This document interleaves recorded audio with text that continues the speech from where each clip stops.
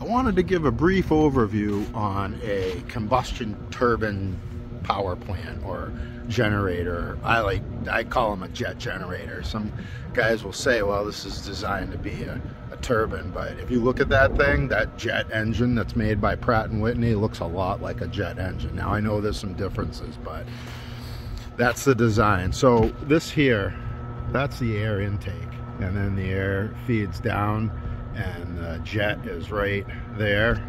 And then it, as it's going if this thing's moving you'll see the exhaust go right out that stack.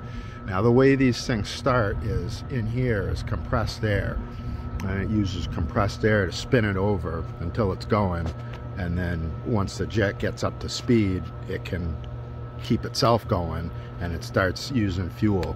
This particular one this is just for emergencies, uh, peaking power when there's a high demand and they need some extra, but this is a black start unit. This can start and go from zero to full load, and I can't remember, but I want to say it's like three or four minutes. Like this is, this is meant to be able to help get everything back going if there's ever a big problem on the system. Um, but that's how these things work. They're not super efficient.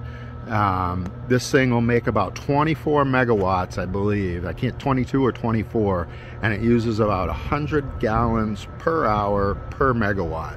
So when this is running full load, it's using about 2,400 gallons of oil. So if you look over here, these four tanks, those are 20,000 gallons each, and they will not last this unit two days when this thing's going. So as soon as as soon as it's going, tankers are rolling to keep these things full because it uses a lot of fuel. Now when this is going, the generator actually sits on the other side of the jet and as the jet's spinning, it spins the generator which makes power and it sends the power over through this control room. And in this control room, there's a breaker that can open and close so that the uh, power feeds out through this line and to the transformer that's behind the control room.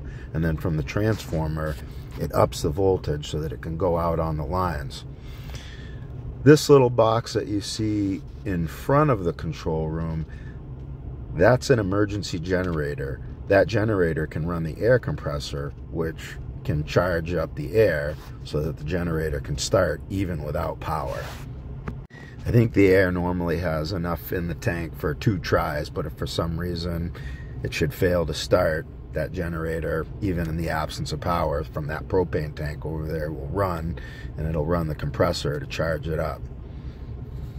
So these things are kind of costly, but they're kind of vital, and I just wanted to give you a brief rundown on how they work.